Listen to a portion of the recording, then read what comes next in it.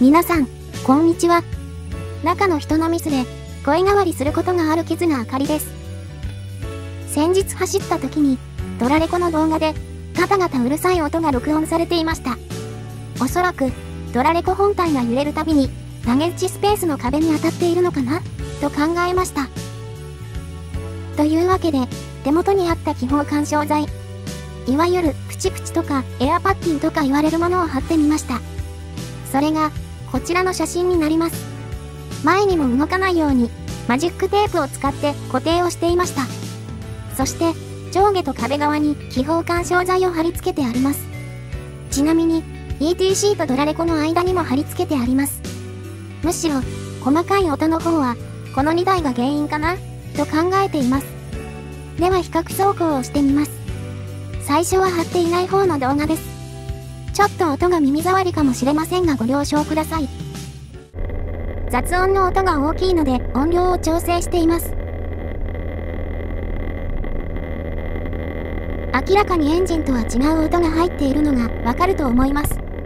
もちろん、走行中に自分は普通のエンジン音しか聞こえていないので、この音はラゲッジスペースの中だけで響いています。違うものが原因だったらまた困るんですけどね。では、気泡干渉剤を貼り付けた後に同じ場所を走った動画を見てみます。これは完全にノイズが聞こえなくなっていますね。長時間走って変なところから音が出ていたとかでなければ解決したと考えて良いと思うのですが道路のつなぎ目でガタッとするときもドラレコ本体が原因のような音が出ていない気がします次に一般道のガタガタする道で比較してみます。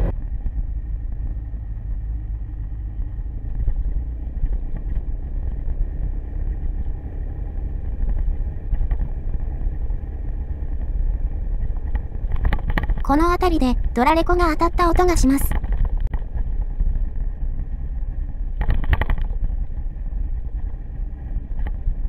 では、気泡干渉剤を貼り付けた後の動画です。